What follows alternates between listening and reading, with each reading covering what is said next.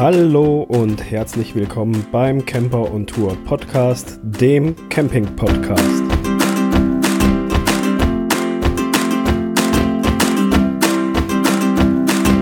Jo, liebe Campingfreunde, ganz herzlich willkommen zur heutigen Folge. Ja, es geht heute ein bisschen intensiver um das Thema Abdichten und Kleben am Wohnwagen, am Wohnmobil und zwar ist der Grund der Folge, ich bin da in der letzten Solo-Folge eh schon so ein bisschen drauf eingegangen, ähm, warum ich überhaupt auf dieses Thema komme, weil unser Wohnwagen war halt undicht.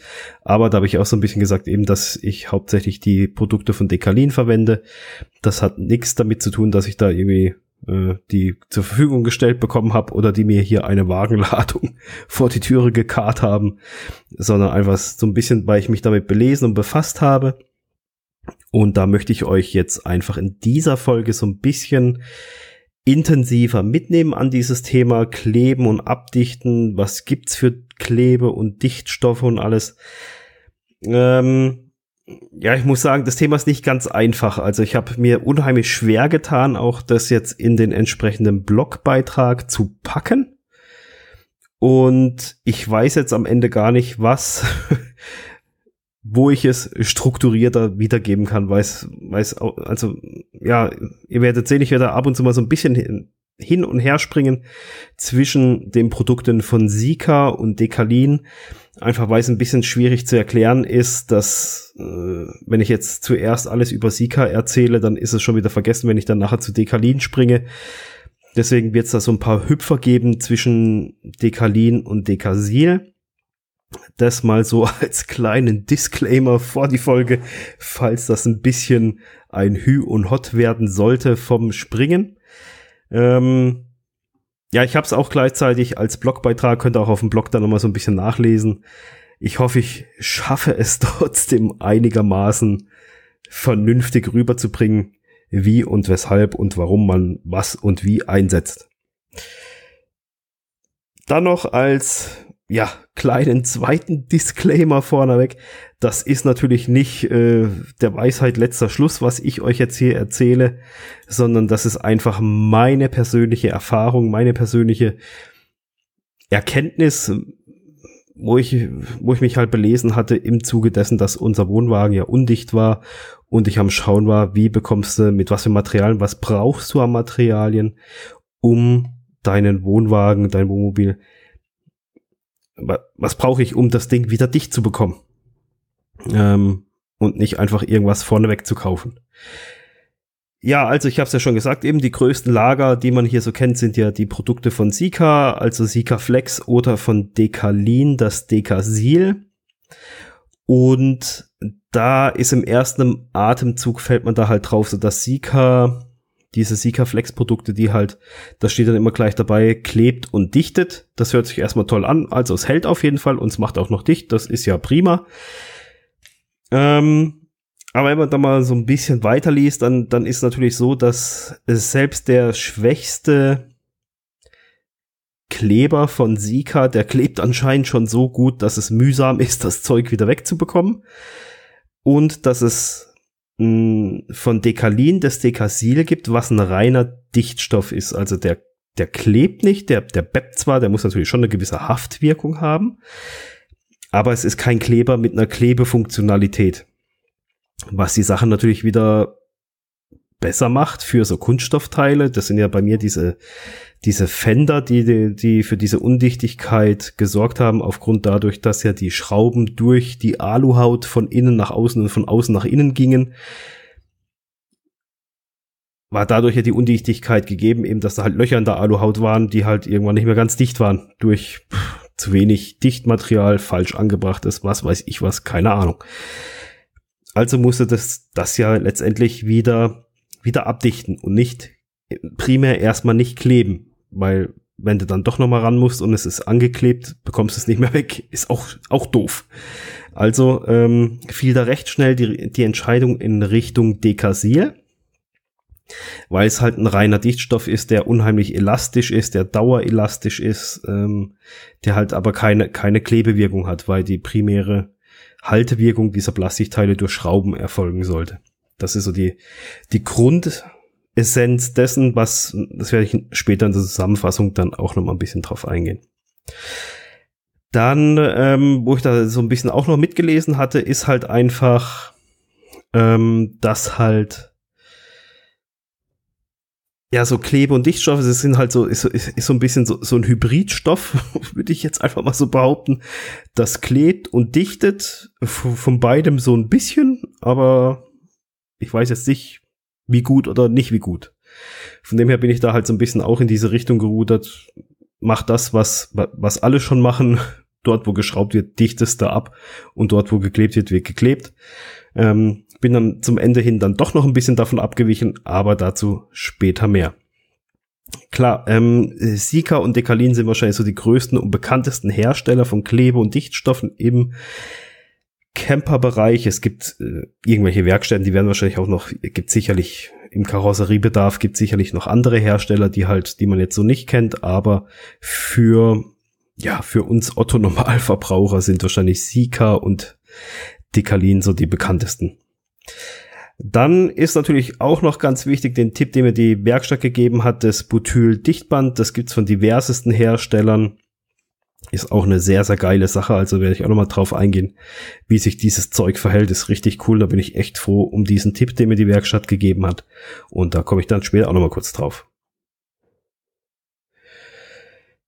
Ja, bei uns war es ja so, dass halt ähm, ja das Wasser halt da durch diese Schrauben letztendlich da reinkam und das Ziel war, dieses Ding da irgendwie wieder dicht zu bekommen.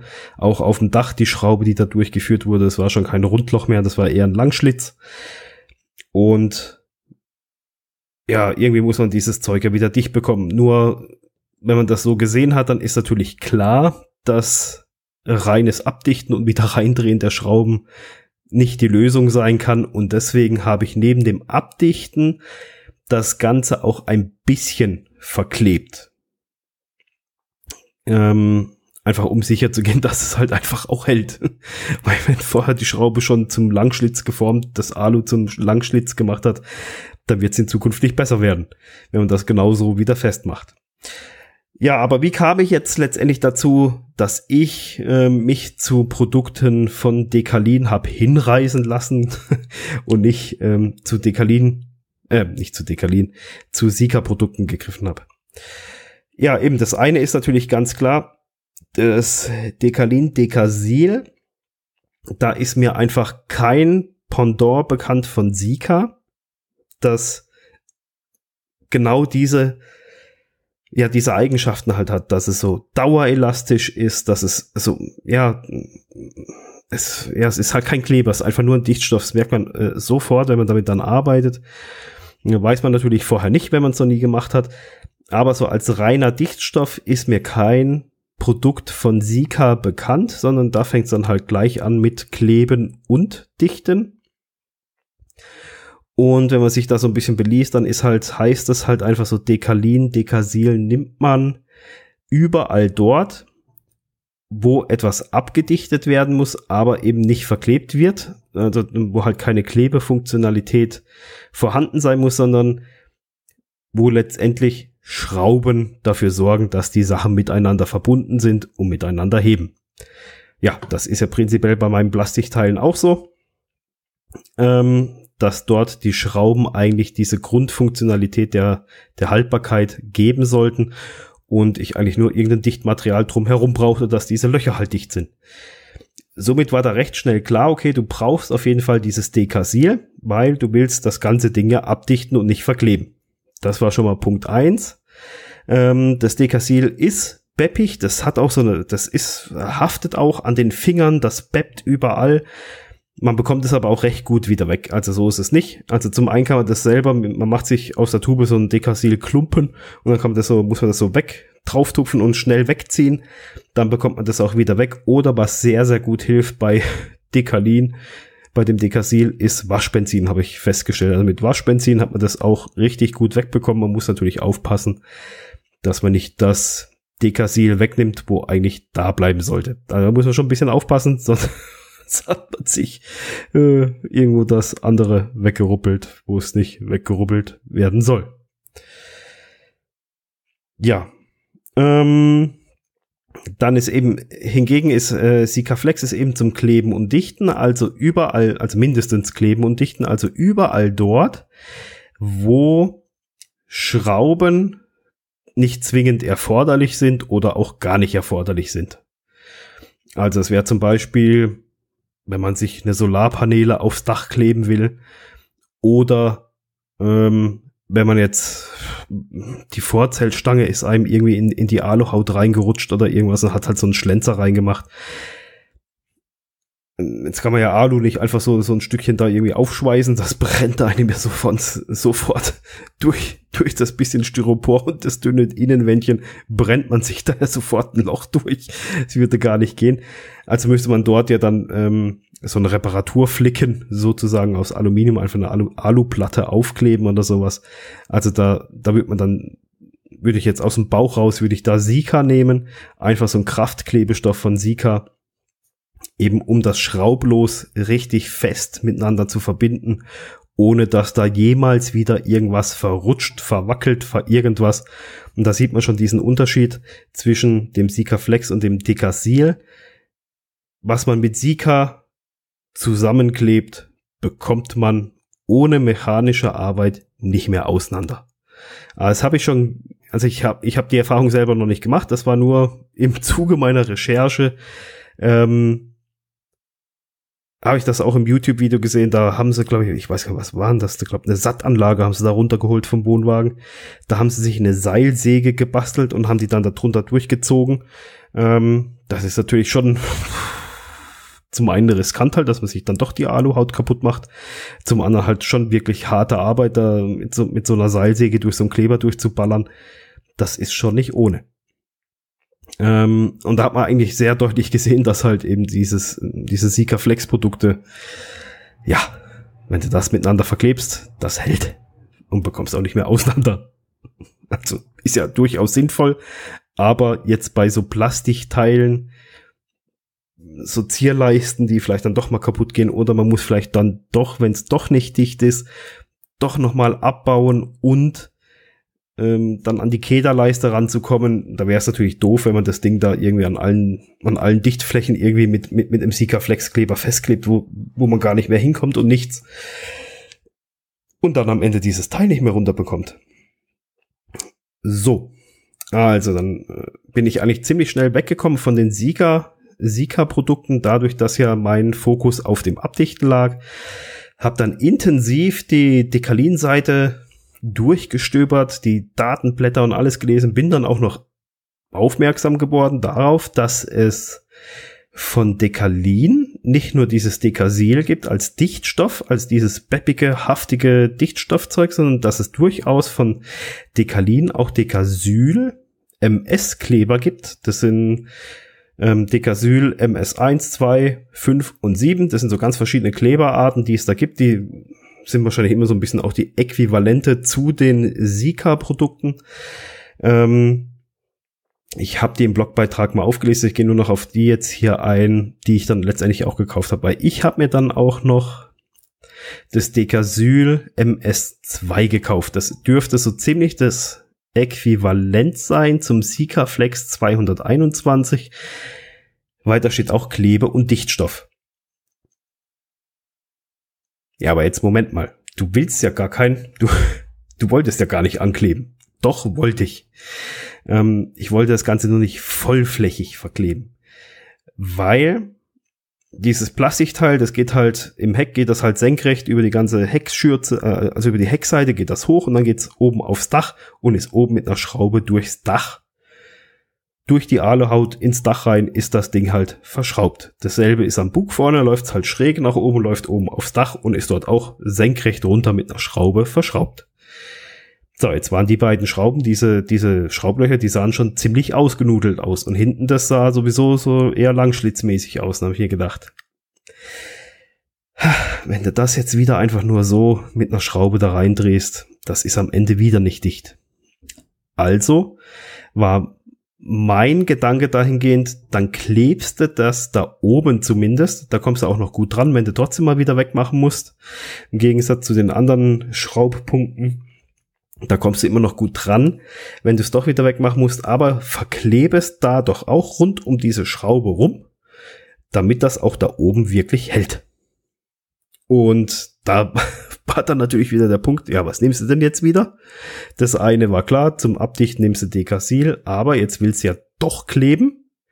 Nimmst du jetzt hier Sika 221, was ein Klebe- und Dichtstoff ist, oder dann auf der Dekalin-Seite gefunden den MS2. Ist auch ein Klebe- und Dichtstoff. Dann habe ich die, die Datenblätter verglichen und wenn ich es jetzt noch richtig in Erinnerung habe, sind die ziemlich ähnlich was die Festigkeiten alles betrifft und die, und die Reißfestigkeit. Und der Hauptunterschied war dann einfach, dass man für Sika Flex, wenn man die größtmögliche Haftklebewirkung erreichen will, dann braucht man noch ein Prima dazu, weil das halt so ein Zwei-Komponenten-System ist bei Sika. Das hält wohl auch, wenn man es ohne macht. Aber wenn man halt die höchstmögliche Leistungsfähigkeit des Klebers erreichen will, dann braucht man noch einen, noch einen entsprechenden Prima dazu. Und das Ganze braucht man bei Dekalin nicht. Das geht auch so. Ja, ja, ja das ist natürlich, finde ich jetzt besser. Ich kann jetzt natürlich nicht beurteilen, was hält am Ende besser, weil ich den Vergleich zum einen nicht habe. Ich habe mich dann einfach dazu entschieden zu sagen, hier, also gut, dann kaufe ich diesen MS2 Klebe- und Dichtstoff. Das ist auch so ein Hybrid-Dings da, irgendwas, es, es, es dichtet, aber es klebt auch, somit wir das Ding da oben hoffentlich gut festhalten, damit es einfach dicht bleibt. Und habe dann einfach im Zuge des Abdichtens und Abklebens und Festschraubens habe ich einfach rund um die Schraube oben, die, diesen Bereich habe ich dann einfach noch mit diesem MS2-Kleber ähm, ja festgeklebt, wollte ich sagen. Ja, so ein bisschen schwierig, das Ganze so zu kommunizieren in einer Podcast-Folge ich hoffe, ihr konntet mir da doch so ein bisschen folgen. Ich fasse es noch mal so ein bisschen grob zusammen, weil es schon so ein bisschen so ein bisschen irrwitzig lief jetzt so hin und her und hü und hot und tralala, warum, weshalb, wieso. Ähm, ähm, das Ganze ist jetzt natürlich auch so ein bisschen Dekalin-lastig, weil ich mich halt intensiv damit beschäftigt habe, weil ich einfach keine Lust hatte, dann da noch mit irgendwelchen zwei Komponenten irgendwie zu schaffen und zu machen, weil die Jahreszeit ist sowieso schlecht und wir hatten dann Glück mit dem Wetter und alles und ich hatte da echt, ich wollte einfach so schnell wie möglich fertig werden in dem Sinne. Und da die Datenblätter gleich waren, habe ich gedacht, ja gut, dann nimmst du halt das Dekasyl, Dekasylkleber, weil es ziemlich ähnlich ist und man spart sich diesen Prima. So, also, kommen wir jetzt noch, aber nochmal so ein bisschen zur Zusammenfassung. Dekalin, Dekasil. Man muss da ein bisschen auf die Betonung achten, weil das schreibt man auch anders. Das Dekasil ist ein reiner Dichtstoff. Der ist nur gedacht zum Abdichten, der, der hält nix, der hat keine kraftschlüssige Funktion, der klebt nicht. Also da braucht man zwingend, muss das irgendwie verschraubt werden oder sonst, ja, also ja, muss eigentlich verschraubt werden. Also Dekasil wird als dauerelastischer Dichtstoff eingesetzt. Oh, eben wurde halt die primäre Haltung mittels Verschraubung erfolgt. Also eben, ich habe es gerade eben schon gesagt. Ähm, das ist halt wirklich, eben, es ist wichtig, dass ihr da, wenn ihr Dekasil nehmt, dann müsst ihr das Ding noch irgendwie verschrauben oder ja, weil sonst wird das nichts, das fliegt euch um die Ohren. Ein adäquates Pendant von Sika ist mir selbst jetzt so nicht bekannt. Aber ah, ich bin gespannt. Also wenn da jemand was weiß, dass es sowas gibt, würde es mich sehr interessieren. Der darf mir gerne schreiben, weil das ähm, fände ich trotzdem cool, wenn es da noch was anderes gäbe. Ähm, dann was auch ist, Dekasil lässt sich nicht glatt streichen. Also kann man nicht hier äh, auftragen irgendwie und dann hier mit Spüliwasser drauf und dann schön mit dem Finger einfach drüber ziehen wie eine Silikonfuge. Es funktioniert nicht. Das Dekasil ist so ein beppiges Zeug. Man bekommt es natürlich schon weg, indem man sich halt so Kügelchen, so, so ein Kügelchen macht und dann halt drauftupft und abzieht. Ähm, das steht auch in der Beschreibung geschrieben, wie man das machen soll. Man darf es halt nur nicht übertreiben, weil halt das Material arbeitet einfach. Es zieht sich zusammen, es dehnt sich aus. Von dem her ähm, sollte man da, wenn nicht unbedingt notwendig, die Finger von lassen. Man sollte es eben auch nicht zum letzten Fitzel entfernen, damit dann nichts mehr da ist, weil wenn es sich dann zusammenzieht, dann kann es schon sein, dass es halt einfach undicht wird. Dann bei Dekasil ist es halt auch so, dadurch, dass dass es halt so ein beppiges Zeug ist, zieht es halt auch unheimlich den Dreck an und sonstigen Staub und was weiß ich nicht alles. Ähm, ja, sieht halt einfach mit der Zeit so ein bisschen unschön aus. Aber muss man halt mit leben, dafür ist der Karren dicht. Dann das Dekalin, Dekasyl MS2, das war der Kleber, den ich mir rausgesucht habe. Beide halt der MS2, es gibt noch den MS5. Der Dekasyl MS5, das ist so ein richtiger Kraftkleber, wenn ich das richtig gelesen habe. Das ist dann, glaube ich, so richtig, was man mit dem zusammenklebt, bekommt man gar nicht mehr auseinander. Deswegen war mir das dann zu heftig. Und genau aus dem Grund bin ich dann auf den MS2 gegangen, weil es ein dauerelastischer Klebe- und Dichtstoff ist, den ich auch nur an einem Punkt jeweils oben auf dem Dach eingesetzt hatte. Also ich habe natürlich schon ähm, rund, also über äh, auf dieses Loch, das habe ich dann schon mit einem Butylband abgedichtet und einfach so eine Klebefläche drumrum gemacht, damit das halt einfach diese dieses Plastikteil da da, da oben festhält, damit das nicht nur durch die Schraube, die ja sowieso irgendwann wieder locker wird, vermute ich jetzt einfach mal, ähm, dass es trotzdem richtig festhält. Bei dem Decasyl MS2 ist auch kein Prima notwendig, da halt die ganze Chemie dahinter eine andere ist. Es ist kein, ja, die ist halt in der Tube schon mit drin letztendlich, wie das chemisch dann alles sich unterscheidet und macht, weiß ich auch nicht. Das interessiert mich eigentlich auch nicht. Mich ist, für mich ist wichtig, dass es funktioniert. Was cool ist, den Dekasyl MS2, den kann man schön mit Spüliwasser, kann man dann halt da drüber sprühen. Am besten macht man sich so eine, so eine Sprühflasche mit Spüliwasser, sprüht dann da drüber, dann kann man das richtig schön glatt sehen, wie so eine Silikonfuge. Ähm, bekommt man da auch schöne Fugen hin und nicht irgendwelche so unansehnlichen Dinge. Ja, es waren so die zwei Hauptdinger, für die ich mich natürlich entschieden habe. Einmal das Dekasyl zum Abdichten und das Dekasyl MS2 zum um das halt auch noch ein bisschen festzukleben, damit das nicht wieder anfängt rumzuwackeln und lose wird und sonst was. Ganz zum Schluss jetzt noch den eingangs erwähnten Tipp der Werkstatt zum Butyl-Dichtband. Und das war wirklich, da bin ich so froh drum, dass die mir das gesagt haben, weil das Zeug ist echt, das ist echt geil. Also das ist echt der Hammer. Hätte ich so echt nicht gedacht. Jetzt, was ist es überhaupt? Das ist einfach so ein schwarzes, hm, die in der Werkstatt haben mir das mitgegeben, ist so zwei Millimeter dick. Das gibt's auch in ein Millimeter, gibt's glaube ich auch, 0,5 oder 1,5 glaube ich sogar auch noch.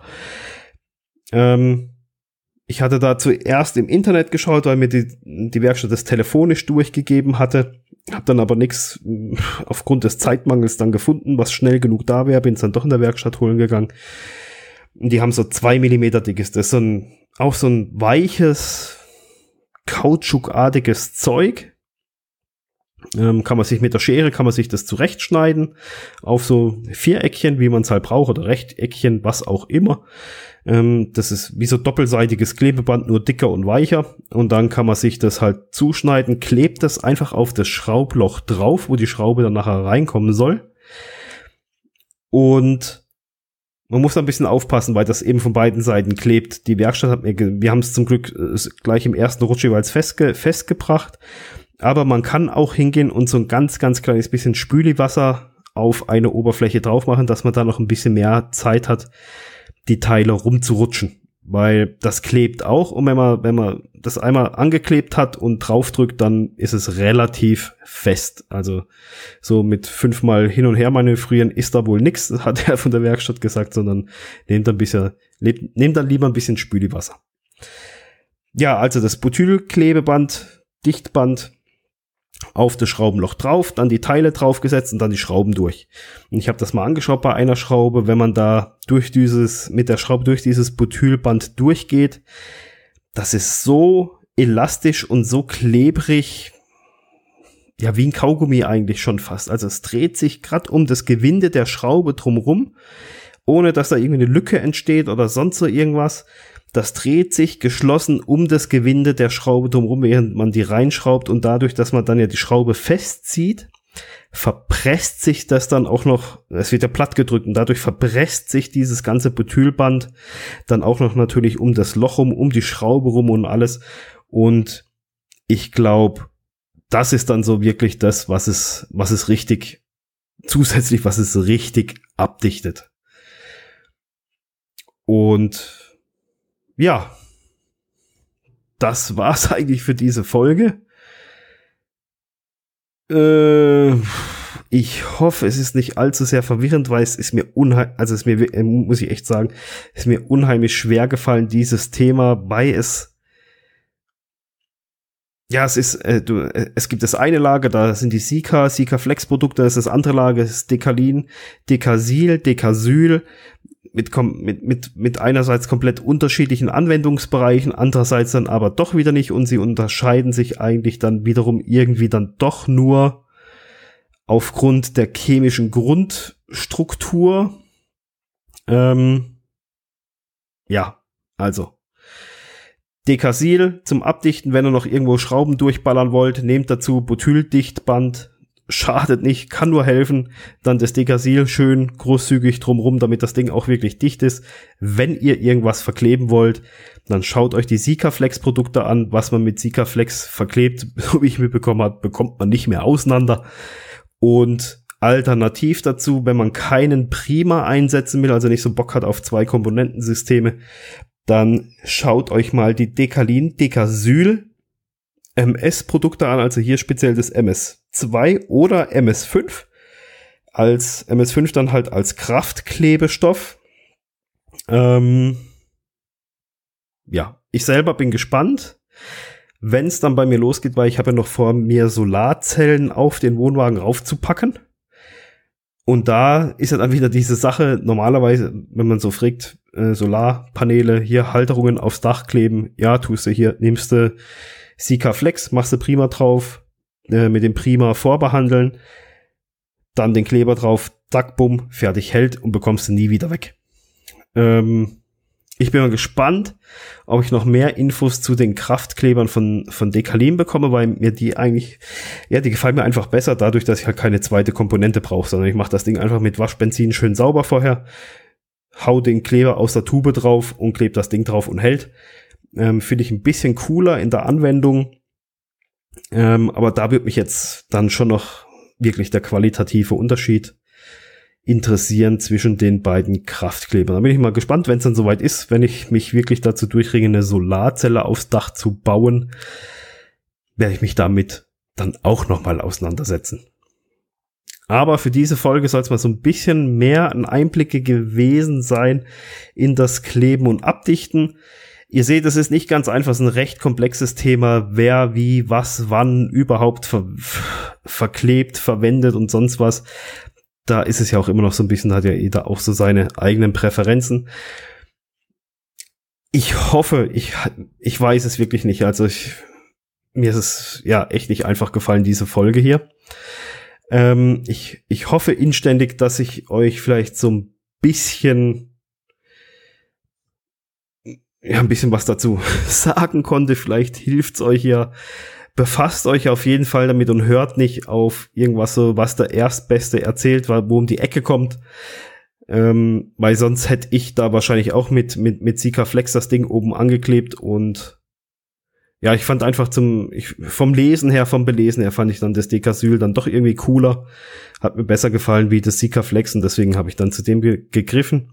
Macht euch da auf jeden Fall ein bisschen schlau vorher, rennt nicht blind in irgendwas, weil wenn ihr dann doch noch mal irgendwas ändern müsst und es ist einfach das, das Falsche gewesen, was ihr eingesetzt habt, weil dann, ja, gibt's halt immer so Sachen. Ja, hättest halt mal genommen.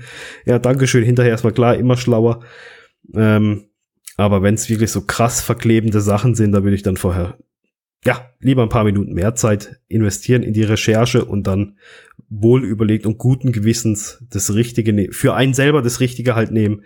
Nicht, was jemand anderes unbedingt empfiehlt. Weil die in der Werkstatt haben ja auch schon Kleber mitge mitgegeben für die dritte Rückleuchte. Da hat er auch gesagt, wenn du die mit dem aber reinklebst, willst du die wirklich reinkleben, die kriegst du nie wieder raus. Das ist eine LED-Rückleuchte, die, die dritte. Das ist dann echt übel. Deswegen habe ich die jetzt auch nicht mit dem Kleber von der Werkstatt, weil das ist halt so ein Kraftkleber, wo die mir mitgegeben haben, sondern ich habe die mit dem Decasyl MS2 mit zwei, drei kleinen Klebepunkten habe ich die angeklebt, dass wenn die wirklich nicht mehr funktioniert, ich habe die Hoffnung, dass ich sie dann noch wegbekomme. Hätte ich die jetzt mit so einem Kraftkleber angeklebt, wäre die wahrscheinlich wie betoniert. Und ich müsste die halbe Rückwand wahrscheinlich rausreißen, um das Ding wegzubekommen. Und da habe ich keinen Bock drauf. Ja, deswegen befasst euch mit dem Thema so ein bisschen. Ich hoffe, ich konnte euch helfen, auch wenn ich mich jetzt wiederhole. Ähm, und wenn es recht komplex ist, schaut auch einfach nochmal in den Blogbeitrag, da habe ich das auch noch so ein bisschen versucht, strukturiert ja, runterzuschreiben. Ähm, ist die, ist die Folge, das ist die Folge, lass mich hochscrollen, das ist die Folge 74. Ja, findet ihr dann unter www.camperontour.de www.camperontour.de Schrägstrich Folge 74. Jo. Dann wünsche ich euch viel Spaß. Ich hoffe natürlich, dass eure Wohnwegen, Wohnmobile immer dicht sind und ihr Kleber und Dichtmaterialien nicht aus Gründen der primären Nachdichtung braucht, sondern nur, wenn ihr irgendwas Neues einbaut. In diesem Sinne, wir hören uns wieder bei der nächsten Folge. Bis dann. Ciao. Ich freue mich natürlich sehr über dein Feedback. Dazu kannst du mir einfach eine kurze E-Mail an dominik at camperontour.de schicken. Dominik jeweils mit i und einem c am Ende und dann einfach, wie gerade gesagt, dominik at camperontour.de eine kurze E-Mail mit deinem Feedback, da freue ich mich wirklich sehr drüber. Oder wenn du jemanden kennst, den du für den Podcast vorschlagen würdest, wo du sagst, hey, der ist interessant für diesen Podcast, oder wenn du ein Thema hast, was du gerne mal behandelt hättest hier im Podcast, dann kannst du mir natürlich genauso gerne eben auch eine E-Mail schicken. Also schick einfach eine kurze E-Mail an dominik at camperontour.de.